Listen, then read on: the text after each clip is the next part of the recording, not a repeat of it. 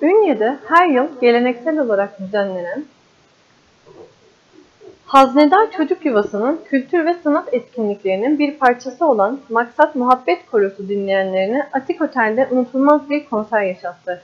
Konserin gelirleri otizmli çocukların eğitimine bağışlandı.